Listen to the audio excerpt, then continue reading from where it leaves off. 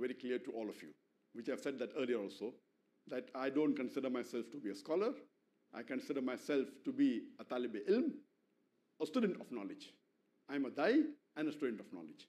And the role of a dai is to collect the fatwas given by scholars and convey it to the public, to the masses. And if there's a difference of opinion, he being a student of knowledge can choose between the fatwas given and give his opinion which he considers to be right.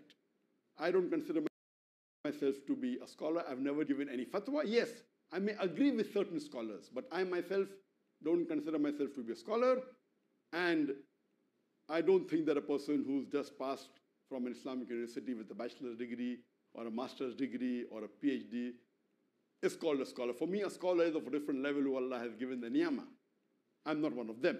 Because in my organization, a few years back when I was in Bombay, Alhamdulillah, as you know, that there were more than 500 full-time paid employees in my organization, out of which there were more than 60 full-time paid employees who were bachelors, masters, and PhD from Islamic universities all over the world.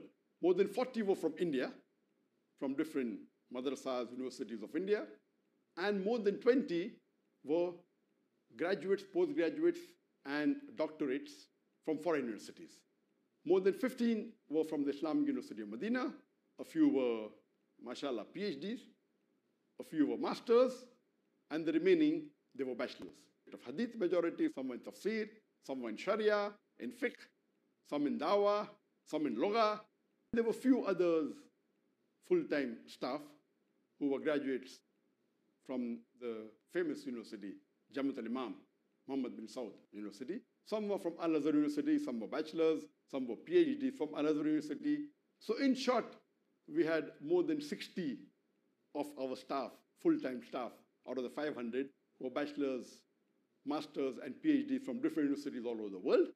But I do not consider any one of them to be scholars. For me, a scholar is something which is on a higher level, and most of the duars that you find giving lectures, most of them, I consider them to be students of knowledge. Even on the Peace TV, more than 75 speakers that come on Peace TV English, as well on the other channels, I consider almost all of them to be students of knowledge. So that is the reason I don't consider myself to be a scholar, but the role of a dai is to make the fatwas of the scholars common and palatable and digestible to the world. So I consider myself to be dai. So let me make it very clear. I don't give fatwas on my own, but yes, I do research and I analyze the various fatwas given based on the verse of the Quran.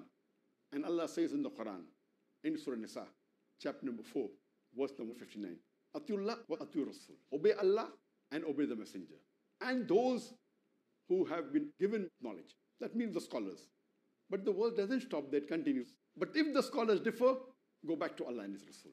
So when the scholars differ, students of knowledge or the other scholars can choose between the fatwas if they have the basic knowledge of usul al-fiqh, etc. They have a right to choose. And I believe I'm a student of knowledge.